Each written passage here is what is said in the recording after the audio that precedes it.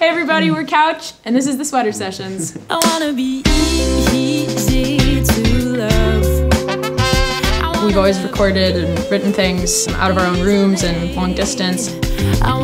Today is our first time recording some of our live arrangements in a studio together.